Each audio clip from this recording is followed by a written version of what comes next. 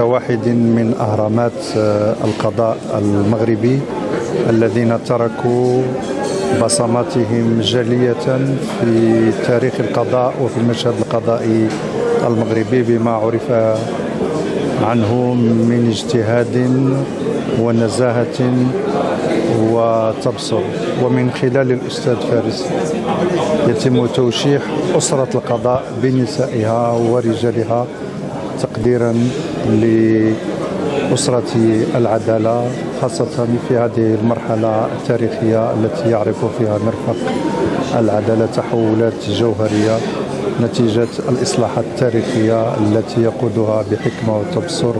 جلالة الملك محمد السادس والتي تميزت بتكريس الاستقلالية التامة للسلطة القضائية عن السلطة التنفيذية والسلطة التشريعية وبانتقال رئاسة النيابة العامة من وزير العدل إلى الوكيل العام للملك لدى محكمة النقد إذا هذا التتويج يأتي اليوم